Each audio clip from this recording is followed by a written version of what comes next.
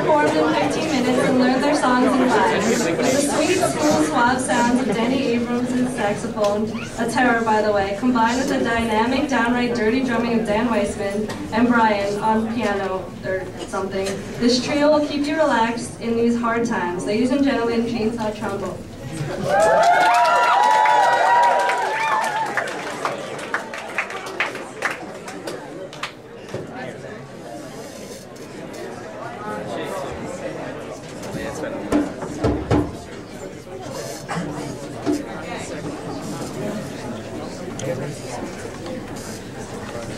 Um,